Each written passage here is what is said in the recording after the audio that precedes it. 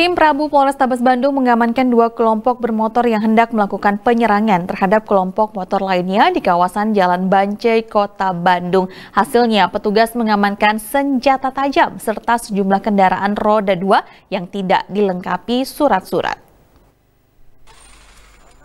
Guna meminimalisasi aksi kriminalitas di wilayah kota Bandung, tim Prabu Polrestabes Bandung melakukan patroli ke sejumlah ruas jalan yang dianggap rawan kejahatan pada Rabu malam. Dengan dilengkapi senjata lengkap, tim Prabu menyusuri sejumlah titik di jalan protokol kota Bandung. Setelah dua jam melakukan patroli, tim Prabu menemukan gerombolan anak muda sedang berkumpul di Jalan Bancai, Bandung. Saat didatangi dan dilakukan penggeledahan, petugas menemukan senjata tajam yang disimpan di pinggang salah satu anak muda yang diketahui merupakan salah satu kelompok motor.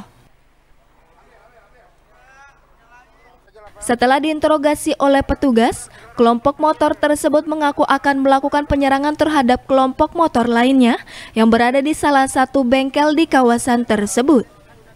Namun rencana aksi kriminal tersebut berhasil digagalkan petugas saat salah satu kelompok motor akan mendobrak bengkel tersebut. Untuk pengamanan atau untuk tindak lanjut lebih lanjut dibawa oleh jajaran Polsek Bandung, baik roda dua atau kendaraan roda dua atau motor yang tanpa surat-surat langsung diserahkan kita ke uh, jajaran Sumber Bandung. Kedua kelompok motor tersebut langsung diserahkan tim Prabu ke petugas Polsekta Sumber Bandung untuk menjalani pemeriksaan lebih lanjut. Yuwana Kurniawan, Bandung TV